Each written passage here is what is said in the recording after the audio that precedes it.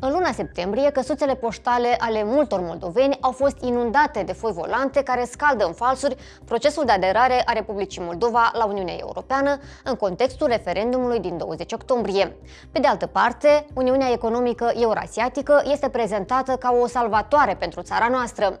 Foile volante, comandate de un businessman care susține că are afaceri în România, o țară membră a Uniunii Europene și tipărite de o firmă conectată la oligarhul fugar Ilan Shor, au putut fi admirate admirate și în stațiile de așteptare ale transportului public, pe stâlpi, garduri și pe panourile de anunțuri din capitală, precum și în alte localități din Republica Moldova.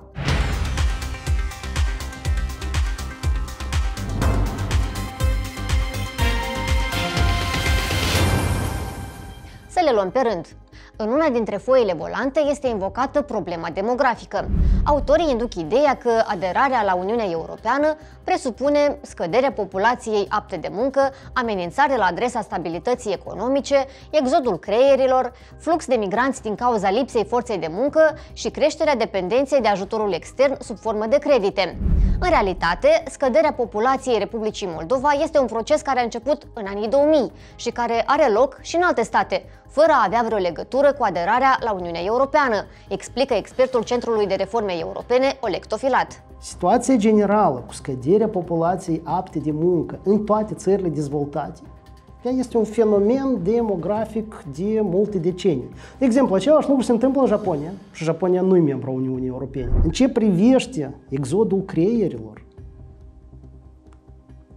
acest fenomen este nici nu măcar de un deceniu, este un fenomen de câteva secole legat de modul de dezvoltare a civilizației umane. În mod normal, savanții se adună la universitățile de vază. Artiștii preferă să evolueze pe marile scene. Deci, mișcarea oamenilor cu abilități a avut loc în toate secolele și în toate timpurile. Așa cum 2000 de ani în urmă toți mergeau spre Roma, așa cum 50 de ani în urmă noi toți tindeam spre Moscova, Acum unii din noi mai talentați se uită spre New York sau spre Londra sau spre centrele europene. Asta este ceva absolut normal și asta nu are nimic cauzal legat de Uniunea Europeană. Și Oana Popescu, directoarea Global Focus Center de la București, spune că afirmația potrivit căreia anume aderarea la Uniunea Europeană va spori exodul populației este greșită sau reflectă doar parțial realitatea. În momentul în care oamenii consideră că nu au o perspectivă de viitor, atunci găsesc modalitatea să plece.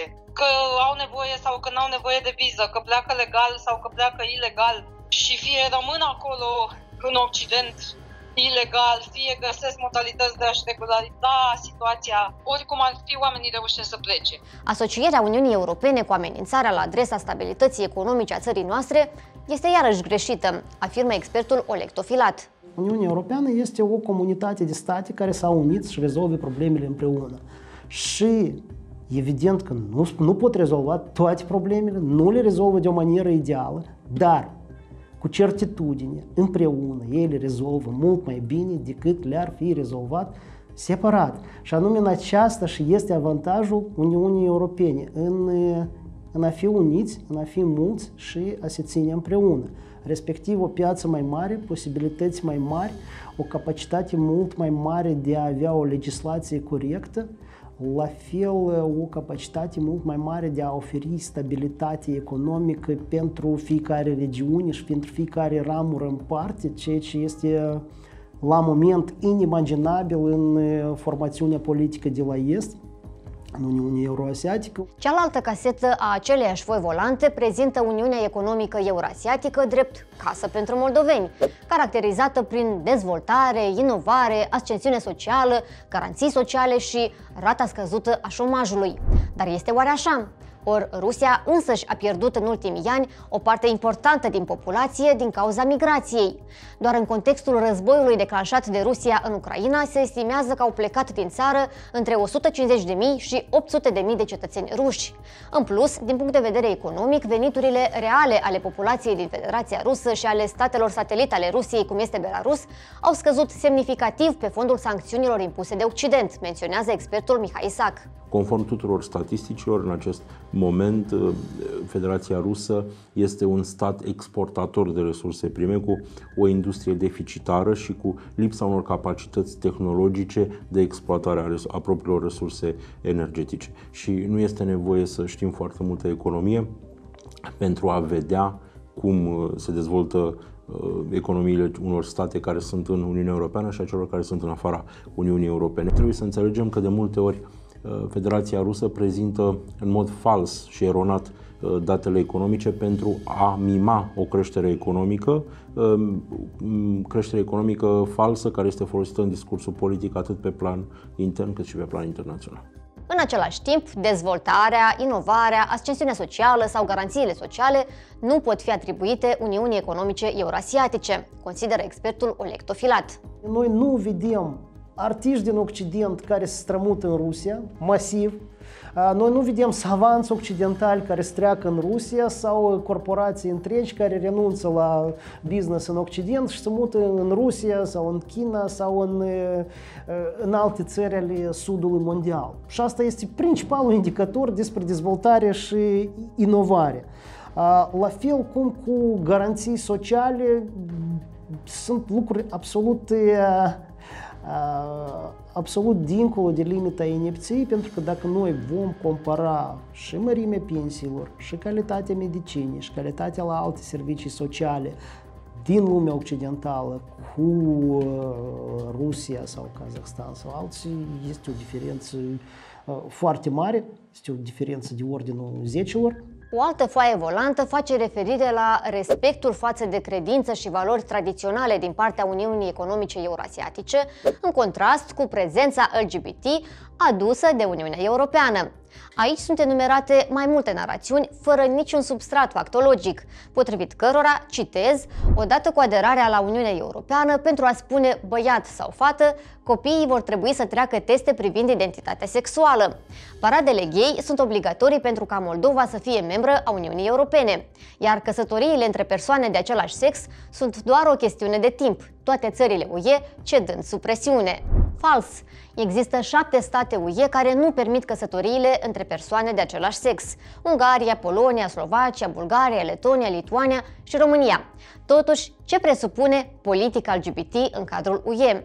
Oricine trebuie să aibă toate drepturile, să dispună de, de toate drepturile, în același, în același timp, Uniunea Europeană nu intervine în modul în care statele naționale uh, reglementează uh, situația uh, acestor comunități, cu excepția garantării unor drepturi fundamentale pentru această comunitate.